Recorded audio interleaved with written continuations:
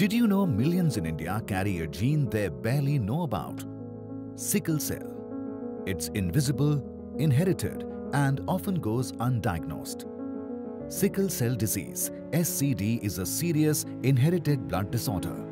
This gene mutation causes red blood cells to become stiff and sickle-shaped.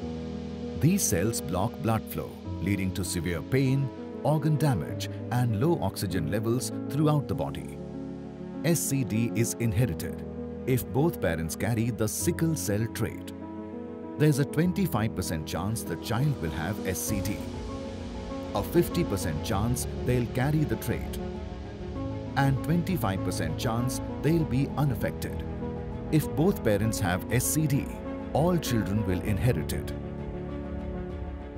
SCD symptoms often begin in early childhood. Painful blockages called vaso-occlusive crisis, fatigue, frequent infections, even strokes.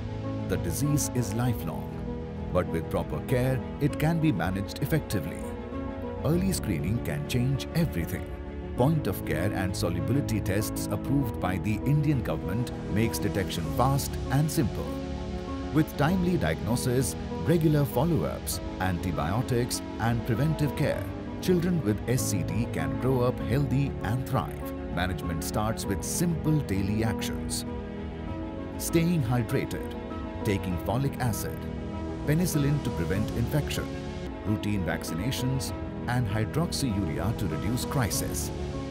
In some cases, blood transfusions or stem cell transplants offer more advanced treatment options.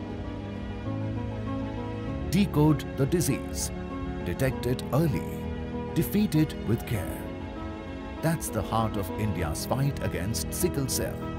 Visit the National Sickle Cell Mission microsite to learn more. Find screening centers and spread the word. With awareness and action, we can end this silent suffering together.